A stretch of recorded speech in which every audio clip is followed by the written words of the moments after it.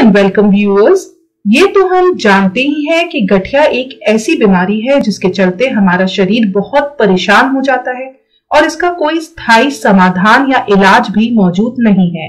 एक बार ये परेशानी होने से ताउम्र शरीर में जोड़ों का दर्द बना रहता है। हालाँकि गठिया का रोग 40 की उम्र के बाद होता है, लेकिन आजकल कम उम्र के लोगों में भी ये समस्या देखी जा रही है। आर्थराइटिस से निजात पाने का सबसे आसान तरीका है कि आप योगा और व्यायाम करें। इससे आपके शरीर में फ्लेक्सिबिलिटी बनी रहती है और आपको दर्द में भी राहत मिलती है। आइए, आज के इस वीडियो में देखते हैं आर्थराइटिस के दर्द से राहत पाने के लिए आप कौन से योगासन कर सकते हैं। तो सबसे पहला है मत्स्य आसन मत्स्य आसन करने से गठिया के रोगी को बहुत फ़ायदा मिलता है। इस आसन को करने से पेट की सभी मांसपेशियों का व्यायाम हो जाता है। साथ ही पेट में गैस और कब्ज की समस्या भी नहीं होती। आइए देखते हैं कि आपको मत्स्य आसन कैसे करना है। मत्स्य आसन शवासन में सीधे लेट जाएँ, दोनों पैर के एड़ी पंजे आपस में मिले हुए दोनों हाथ हिप के नीचे स्थापित करें। कोहनी पर वज़न देते हुए सीने के भाग को ऊपर की ओर उठाएँ, गर्दन से सिर मोड़ते हुए ज़मीन पर टिकाएँ। सामान्य श्वास प्रश्वास चलता रहे। लगभग 10 सेकंड तक आसन की स्थिति बनाए रखें। और धीरे धीरे कोहनी पर पुनः वज़न देते हुए सिर को सीधा करें। सामान्य स्थिति में, विश्राम की स्थिति में सीधे लेट जाएँ। इसके अलावा आप चाहें तो प्राणायाम कर सकते हैं। गठिया के मरीजों को प्राणायाम करने से बहुत राहत मिलती है। सुबह सुबह साधारण प्राणायाम करने से इस रोग से होने वाले दर्द में आपको राहत मिलेगी। प्राणायाम करने के लिए किसी समतल जगह पर चटाई बिछाकर और पालती मारकर बैठ जाइए। फिर शांत चित्त से प्राणायाम का अभ्यास करें। आइए जल्दी से नज़र डालते हैं कि प्राणायाम करने का सही तरीका क्या है। नाड़ी शोधन। नाड़ी शोधन को अनुलोम विलोम प्राणायाम के नाम से भी जाना जाता है। इस प्राणायाम की मुख्य विशेषता है कि ये दाएँ और बाएँ नासिका छिद्रों से क्रमवार श्वास प्रश्वास को रोककर या बिना रोके किया जाता है। नाड़ी शोधन को करने के लिए सबसे पहले आप सुखासन में बैठ जाएँ, जो कि एक ध्यानात्मक आसन है। सुखासन के अलावा नाड़ी शोधन दूसरे ध्यानात्मक आसन जैसे पद्मासन स्वस्तिक आसन या वज्रासन में भी किया जा सकता है। जो ज़मीन पर बैठने में असमर्थ हैं, वे कुर्सी पर बैठकर अभ्यास कर सकते हैं। सुखासन में बैठते समय सुनिश्चित करें कि आपका मेरुदंड सीधा हो सर ऊँचा दोनों हथेलियाँ घुटनों पर और आँखें बंद हों। अपने मेरुदंड को सीधा रखने में आप दीवार का सहारा ले सकते हैं। अब कुछ गहरी साँसें लेकर शरीर को आराम की स्थिति में लाएँ। नाड़ी शोधन का अभ्यास शुरू करने से पहले आइए अपनी उंगलियों की पहचान कर लेते हैं। अंगूठा, तर्जनी, मध्यमा, अनामिका और कनिष्ठा। अब अपने बाई हथेली को ध्यान मुद्रा में लाने के लिए अपने अंगूठे और तर्जनी उंगली को आपस में छूकर एक गोले का आकार दें और अपनी मध्यमा, अनामिका और कनिष्ठा उंगली खुली रखें। अब दाई हथेली को नासाग्र मुद्रा में लाने के लिए मध्यमा और तर्जनी उंगली मोड़कर बंद करें और अंगूठा, अनामिका और कनिष्ठा उंगली खुली रखें।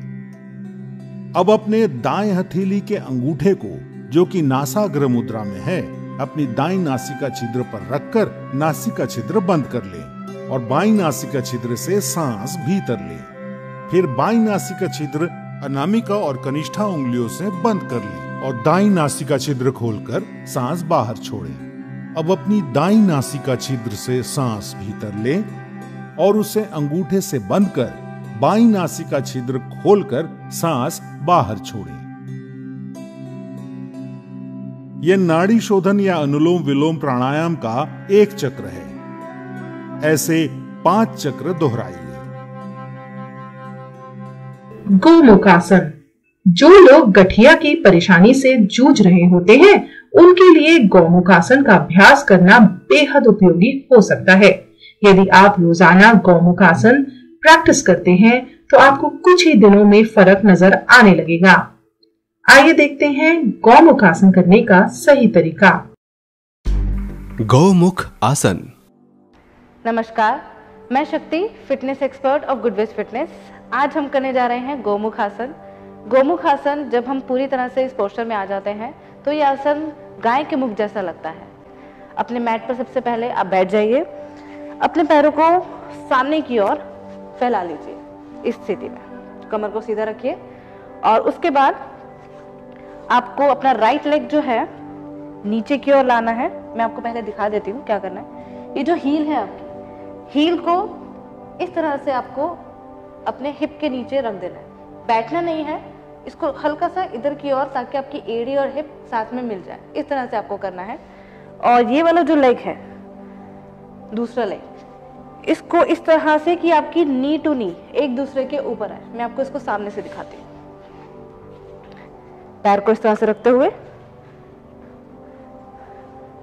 ये देखिए एंगल कई लोगों का एंगल इस तरह से होता है, वो गलत है, नी बहुत क्रॉस उसमें जा रही है, या फिर बहुत ज़्यादा अंदर कर देते हैं ओवर स्ट्रेच कर देते हैं तो इसको सिर्फ़ नी के ऊपर आना चाहिए, एक नी के दूसरे पैलर में होनी चाहिए।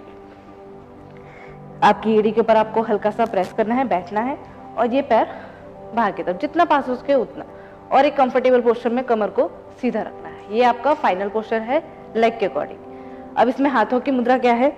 जो लेग आपका ऊपर है, वही हाथ आपका इस तरह से ऊपर आएगा. और जो लेग नीचे है, वही हाथ आपका नीचे की ओर.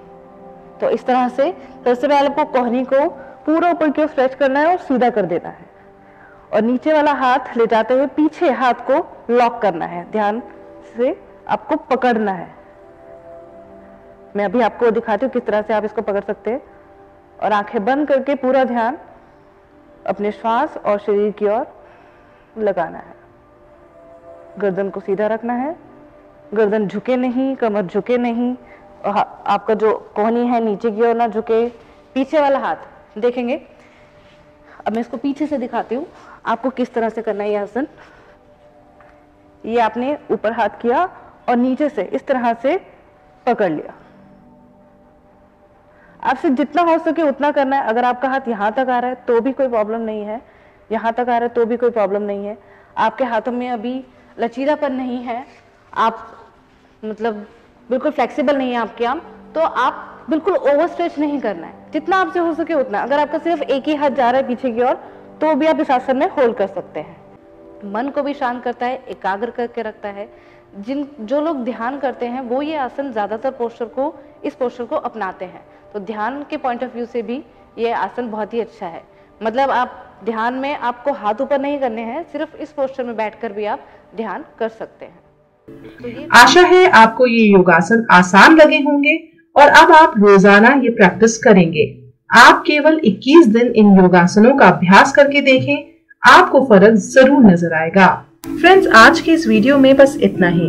आशा करती हूँ कि आपको यह वीडियो सहायक और जानकारी पूर्ण लगा है। तो कृपया इस वीडियो को अपने फ्रेंड्स और फैमिली के साथ भी शेयर करें। शायद किसी की मदद हो जाए। Thank you for watching this video meet you next time until then stay happy and healthy